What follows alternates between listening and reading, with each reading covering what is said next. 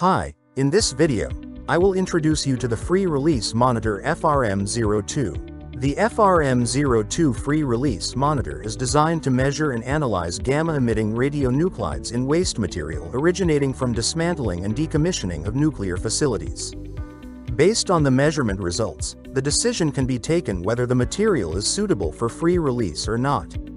FRM02 is equipped with a control switchboard, a control PC with integrated FRMS software, loading platform with safety sensors, and a shielded measuring chamber with 32 plastic scintillation detectors. Three different models are available, which differ in their mechanical construction. FRM02A has one door and one loading platform. FRM02B has one door and two loading platforms. And FRM02C has separate entry and exit doors and separate loading and unloading platforms. The operation of the FRM monitors is controlled by the FRMS application software. The most common measurement mode is the waste measurement. The operator enters the measurement time and enters or scans the package ID from the existing database.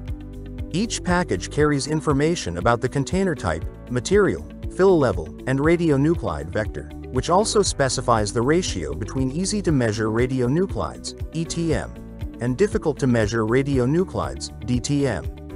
After the start of the measurement, background in the measuring chamber is measured, and if no contamination of the chamber is detected, the operator is prompted to load the container.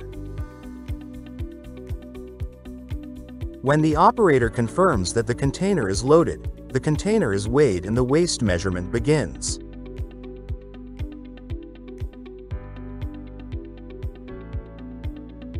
The FRM measures the activity in predefined container segments and evaluates whether the material is releasable to the environment or not.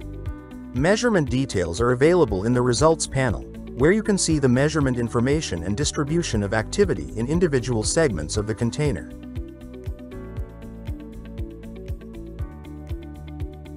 Specific activities of individual radionuclides in the material are shown in the radionuclides section. All measurements are stored in a database, which is accessible through the archive menu item. A wide range of accessories is available for maintenance and calibrations of the FRM02 monitor. A pyramid test fixture is used for the quality control procedure, during which the scintillation detectors are quickly checked. This procedure should always take place at the beginning of a work shift.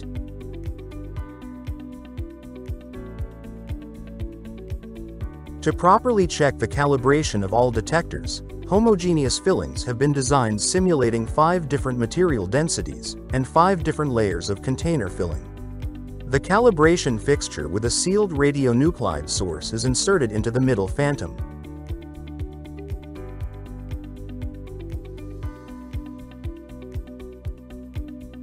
Another fixture is used for all 32 scintillation detectors parameters setting, which enables placing of a sealed radionuclide sources in front of each detector. For more device information, feel free to contact us. Thank you for your attention.